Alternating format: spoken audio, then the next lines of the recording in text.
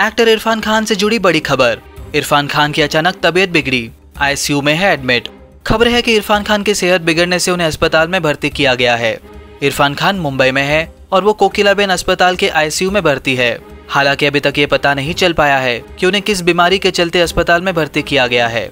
दो साल पहले मार्च 2018 में इरफान खान को अपनी बीमारी का पता चला था। उन्होंने खुद अपने फैंस को ये शॉकिंग खबर दी थी।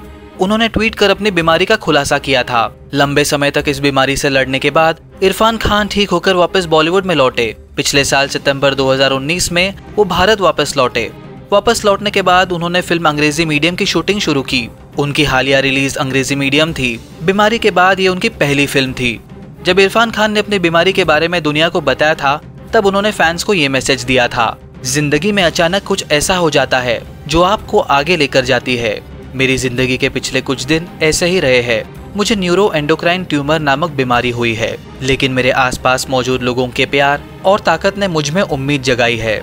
इसके इलाज के लिए मैं विदेश जा रहा हूँ। मेरे सभी से प्रार्थना है कि वो मेरे लिए दुआएँ करते रहे। मेरी बीमारी को लेकर न्यूरो की जो अफवाह फैलाई जा रही है, इसके लिए मैं बता दूँ कि न्यूरो हमेशा ब्रेन के लिए नहीं होता।